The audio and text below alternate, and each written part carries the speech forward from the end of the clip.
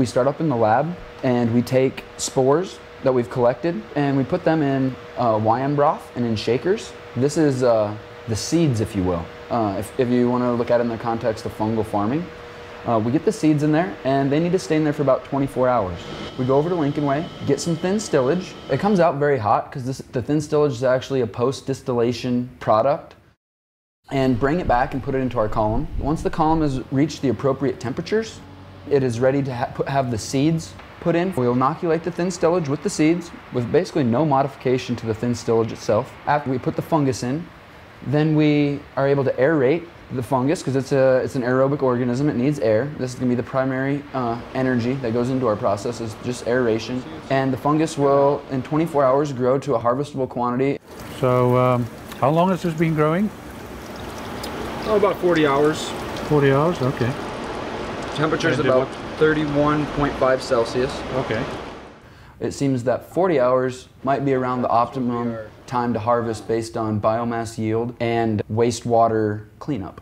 I always like to taste the product. You tell me something about contamination?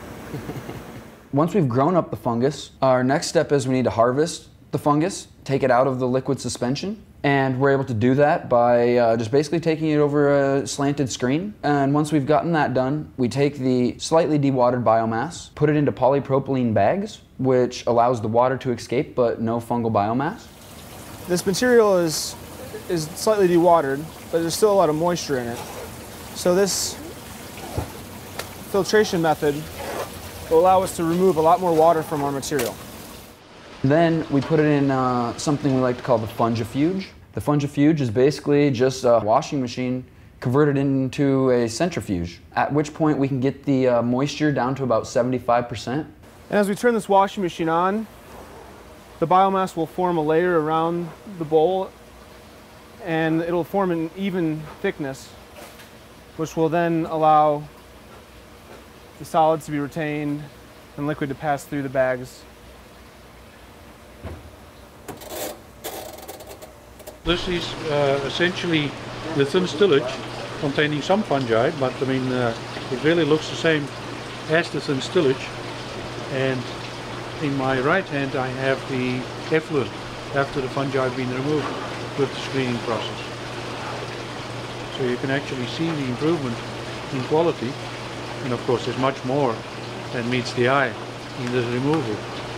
Most importantly, we remove uh, with the fungal process uh, certain impurities that are undesirable for recycling the, uh, the effluent back to the fermentation process. And that includes glycerol, lactic acid, and acetic acid, which are microbial byproducts from the original yeast fermentation, which build up otherwise and inhibit the yeast fermentation.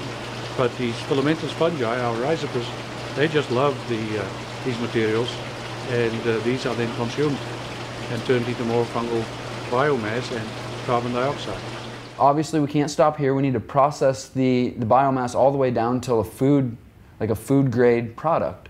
Cellencor kindly let us use their microwaves to dry our fungus. And our target is about 10% moisture, 10 to 15% moisture there, at which point it should be able to prevent most microbial growths. Once you're done, and it's about at 10, 15% moisture, you notice it almost has like a grape nut consistency. But yeah, this is what we like to call MycoMeal.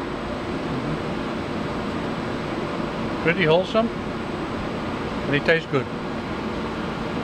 Quite nutritious. Mm -hmm. We've actually had some tests done on the, bio, the dried biomass itself, and it turns out to be about 33% protein content, amino acid content, and about 19% fats, which is very favorable, especially for young chickens pigs. They can get a lot of their energy from fat, helps them grow properly. Also, lysine is a, an essential amino acid. The case of our study at this point, we're just focusing on the animal feed trials, but we like to uh, let it be known that we also feel that it has a huge potential in being a highly proteinaceous source of human energy.